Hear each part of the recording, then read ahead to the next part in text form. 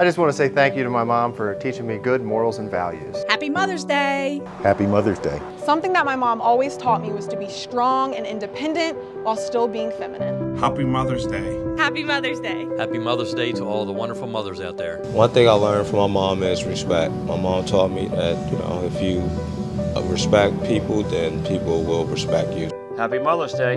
Happy Mother's Day. Happy Mother's Day to all the mothers out there.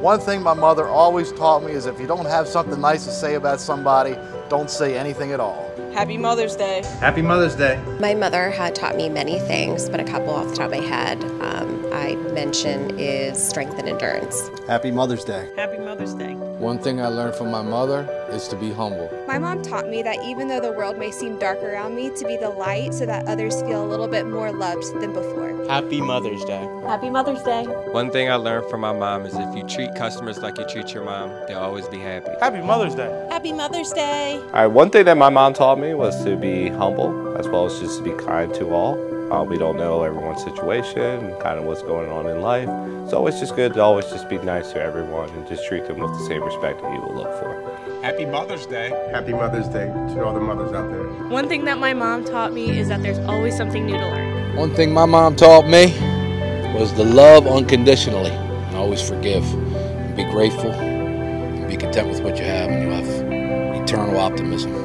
Happy Mother's Day. I want to wish all the mothers in the world a happy Mother's Day from Jones Key.